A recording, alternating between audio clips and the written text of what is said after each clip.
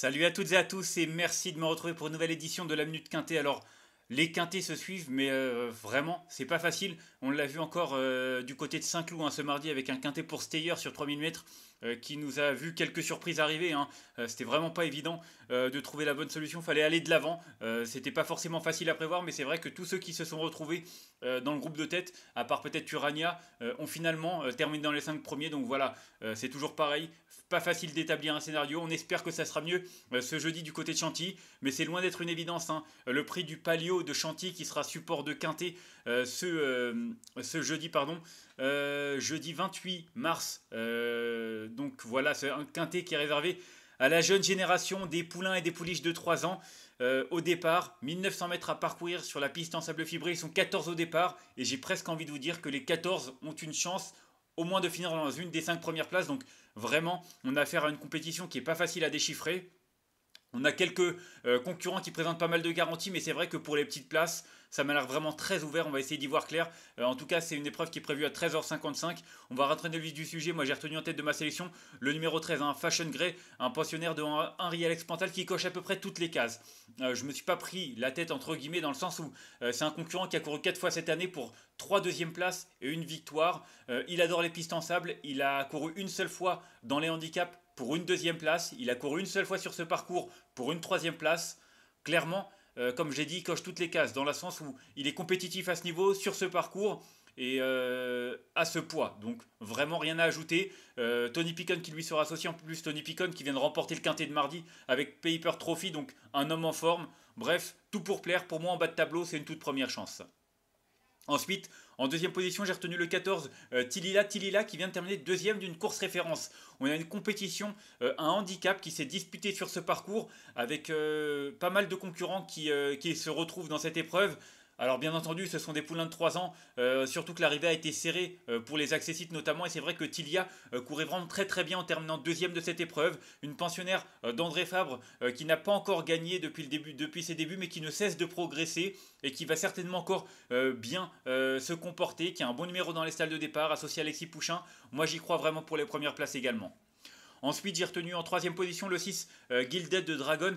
Euh, je vous l'ai dit, euh, il y a une course référence et Gilded Dragon a terminé troisième derrière Tilila. Mais c'est vrai que les écarts sont vraiment très faibles et Gilded Dragon, en plus, il effectue une rentrée.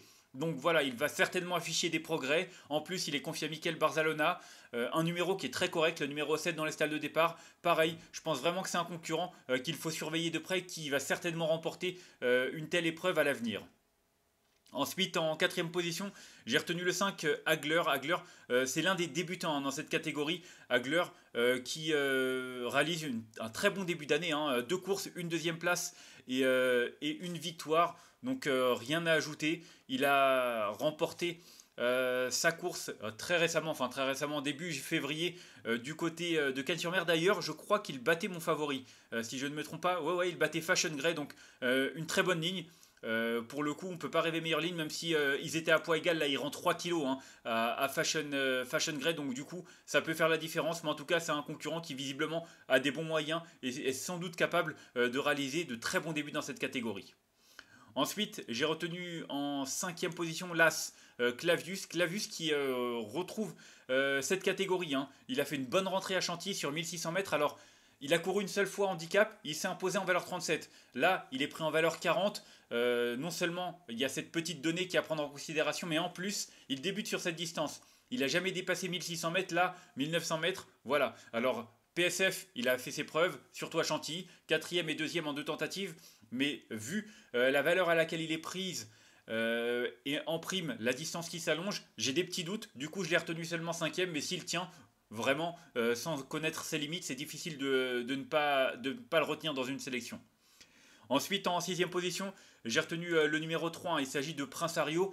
Pareil, un cheval qui n'a jamais déçu, mais qui débute dans cette catégorie et qui n'a jamais couru sur cette distance, comme le, numéro 1 Clavus. Donc voilà, euh, pas mal d'incertitudes. Il a repris de la fraîcheur, hein. on ne l'a pas revu depuis deux mois, mais c'est un cheval qui n'a jamais fini plus loin que quatrième, qui aime la PSF, qui a des lignes à faire valoir. Non, pas grand-chose à, à mettre contre lui si ce n'est le fait qu'il débute dans cette catégorie, c'est toujours pareil. Il faut faire un choix entre des poulains euh, qui euh, parfois n'ont jamais euh, de lignes qui se croisent. Donc Voilà, en valeur 39, à lui de faire ses preuves, mais en théorie, je pense qu'il est toutefois capable de prendre une place. Ensuite, en 7 position, j'ai retenu le numéro 10, Atrani, pareil. Il débute dans cette catégorie, il n'a couru que 3 fois. Hein. C'est le moins expérimenté au départ de ce quintet. Maintenant, il a débuté victorieusement. Derrière, 4 euh, quatrième à Chantilly, puis ensuite 4 euh, quatrième à Toulouse. Voilà, je pense que ce sera mieux de revenir sur une PSF pour lui. Peut-être que le terrain lourd de Toulouse ne lui a pas forcément convenu. En tout cas, c'est un concurrent qui est une nouvelle fois muni de hier. Donc attention, confié à, Christiane Demuro, euh, entraîné par euh, Christophe Erland, je pense qu'on est en droit de lui accorder un certain crédit, tout du moins pour les places.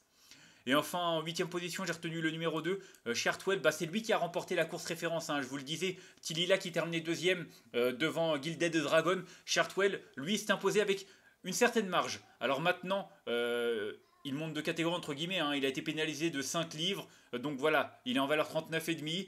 Il y a des nouveaux venus dans cette catégorie. Donc L'un dans l'autre, c'est pas évident de, lui accorder le plus large crédit, mais clairement c'est un cheval qui l'a fait avec un peu de marge et je ne serais pas étonné s'il arrivait à prendre minimum une place dans cette épreuve.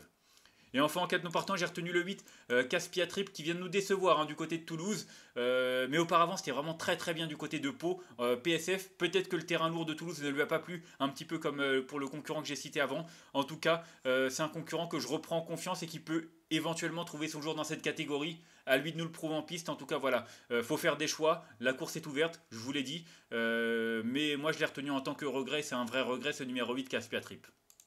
On va faire un petit récapitulatif de ma sélection avec le numéro 13 que j'ai retenu devant le 14, le 6, le 5, l'As, le 3, le 10 et le 2. Et en cas de non partant, le numéro 8. Voilà, vous savez tout en conseil de jeu. C'est vrai que 13 et 14 pour moi, coche beaucoup de cases et qui sont vraiment bien placés en bas de tableau. Euh, le numéro 6, euh, Guild des Dragons, j'adore. Je l'ai retenu seulement troisième, mais c'est vrai que c'est vraiment mon, un petit coup de cœur parce que je pense vraiment qu'il va afficher des progrès sur sa rentrée et euh, qu'il est certainement capable de remporter une telle épreuve dans les semaines qui arrivent, pourquoi pas même dès ce jeudi. En tout cas, moi, pour moi, c'est vraiment un concurrent qu'il faut suivre en confiance. Donc 13, 14 et 6, mes trois préférés dans cette épreuve. Je vous l'ai dit, c'est une course qui est très ouverte. N'hésitez pas à élargir les combinaisons. Euh, toujours est-il que je vous remercie d'avoir suivi cette nouvelle édition euh, de La Minute Quintée.